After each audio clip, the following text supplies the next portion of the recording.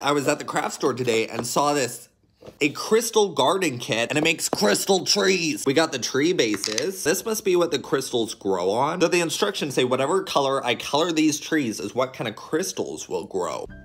Done with the first tree, as you can see, I was running out of colors. First tree done. This one we're doing purple and green. Our two trees are done, so now we just gotta put in this crystal growing solution. Carefully pour a small amount of liquid over the very top of the tree.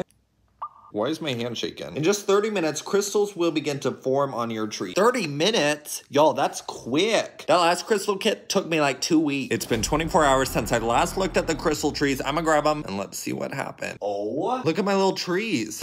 Okay, look at my trees. It kind of worked. This one don't even got any orange. Oh,